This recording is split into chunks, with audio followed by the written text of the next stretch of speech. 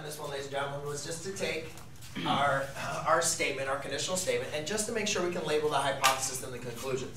Remember, the if and the then are not a part of our hypothesis conclusion.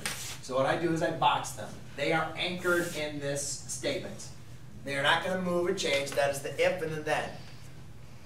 Then remember, the statement that follows the if is the hypothesis.